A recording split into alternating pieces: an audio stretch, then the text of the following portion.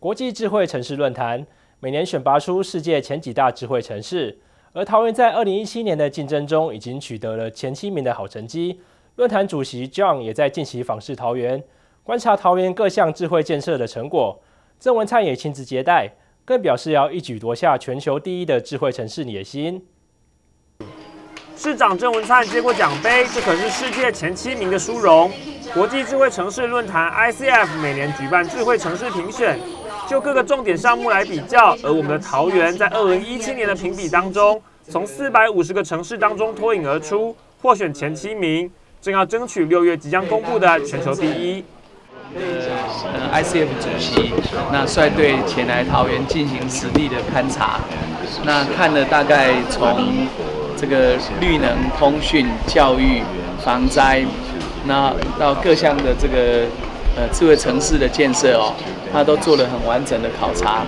那我想，智慧城市是要让市民生活更 smart，那同时也有产业导向、未来导向。进入了最后七个城市的选拔，ICF 的主席亲自来到桃园访视。桃园在评比的各个项目当中表现优异，包含 WiFi 热点的设置、智慧课堂的实施、市民卡的多功能、创新产业的发展等等。市府积极推动各项政策，也都是角逐全球第一智慧城市的利器。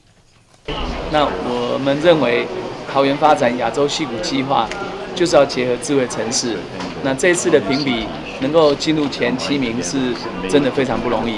那因为全球有一千个城市哦，号称智慧城市。那台湾也有大概十一个城市哦，被列为这个评选的范围。那我们会尽全力哦，把我们在智慧城市的成果，把它做最好的展现。那希望六月份在纽约颁奖，哦，也可以得到很好的成绩。全球第一和智慧城市都是响亮的名声，对于桃园在国际的能见度上也有极大的注意。希望桃园能够在接下来的评选当中脱颖而出，拿下好成绩。桃园新闻陈彦任市府采访报道。